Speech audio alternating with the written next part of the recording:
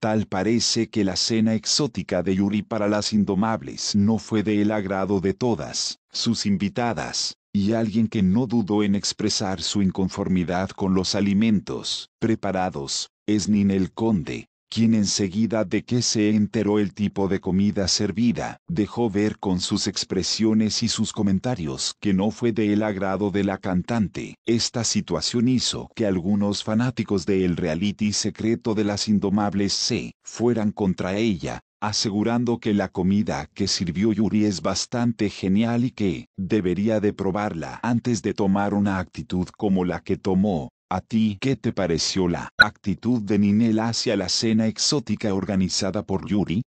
Wow, así habrá gastado la güera en estas vacaciones que solamente alcanzó para chapulines. Creo que son gratis allá del pasto.